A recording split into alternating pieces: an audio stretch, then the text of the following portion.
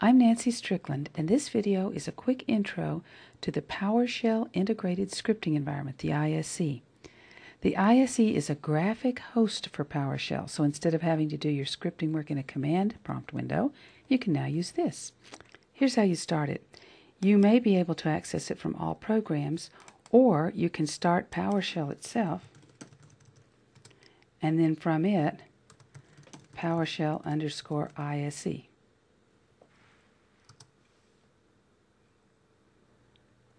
Now you can leave that PowerShell command window open if you want, but you don't have to. Once the ISE is running, that's enough. It doesn't depend on that PowerShell window being open. Okay, down here at the bottom you can see that you have a PowerShell prompt where you can type a single command. And when you press enter, it'll be executed and the output is here in the output window, the output pane. To get help, I can press F1 and I get a standard Windows help window with searching. And I can also get context sensitive help. If I put my cursor on a particular command and press F1, then my help window opens with that command selected. And then here in the lower right is something I really like. There's a little text slider so that I can adjust the size of my text, whatever I'd like, and I can also adjust the size of the whole window. And there's also a kind of simple IntelliSense. If I try to start a command like get H and then I press tab, it's going to show me the first command it finds that starts with get H alphabetically. And then if I keep pressing tab, I'll see all of them. It'll iterate through every possible command that starts with get H and then start over when it gets to the end of the list. And if I just typed the get, for example, I could see every single command that starts with get that there is. I can also write a multi-line script into the editor directly. Now, if you don't see the script pane when you open PowerShell, it's not here. You can go up here to this little script button uh, up here in the upper right, and when you click on it, then the script window opens up here. That gives you a nice multi-line interface instead of the one line at a time command prompt. You can basically work like you do in an editor like Notepad.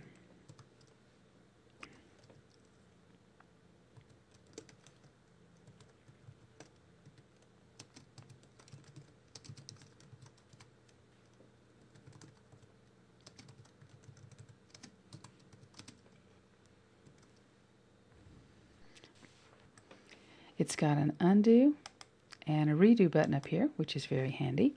And when you're ready to run your script for testing, you can press F5 or you can click on this little green triangle button up here so you can see that the interface is something like a simplified Visual Studio.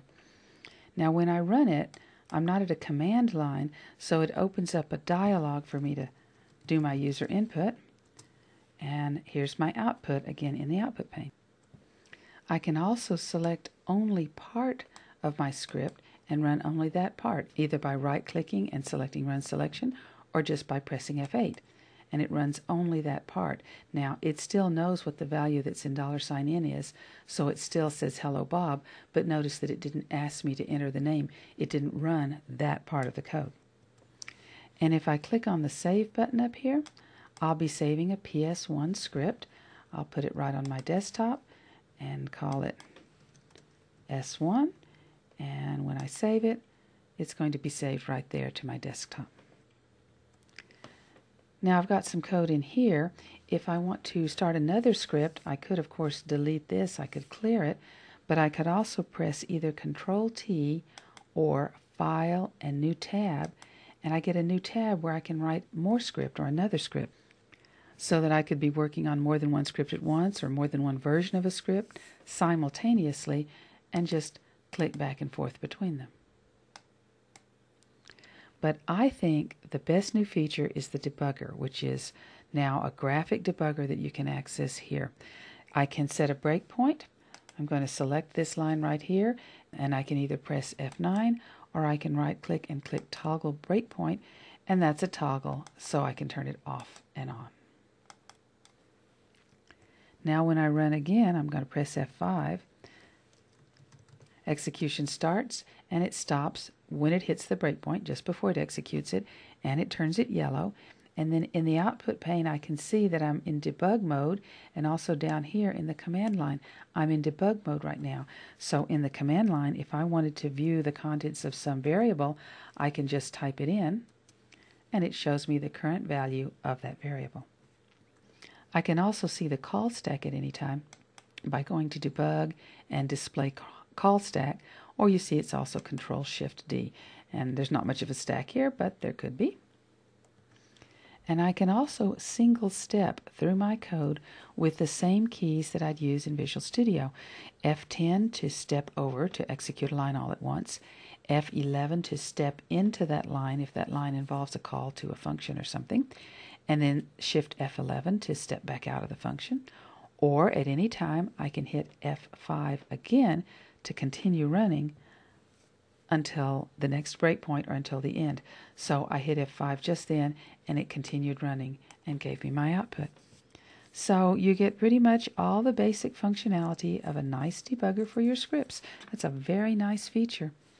And, uh, and there you've seen it, a quick look at the PowerShell ISE in under seven minutes.